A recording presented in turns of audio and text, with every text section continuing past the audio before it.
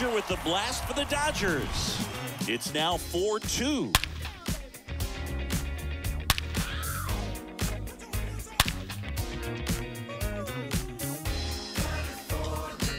There.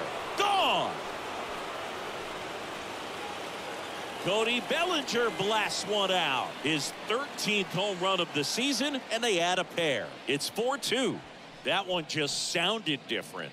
And might have been the loudest moment yet. Man, my ears are ringing. I could feel that swing from the booth.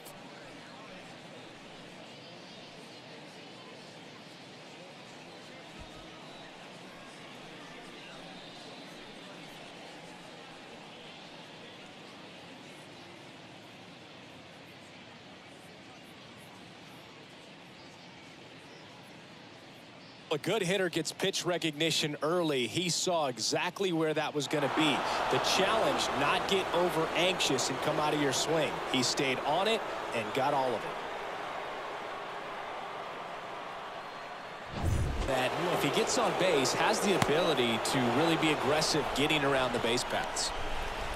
The only adjustment he needs to make is his target. If you aim at the outside corner, that slider's going to end up way off the plate. Perhaps look a little more down the middle. And Oh, now this is blasted. Way back there. On its way. Gone.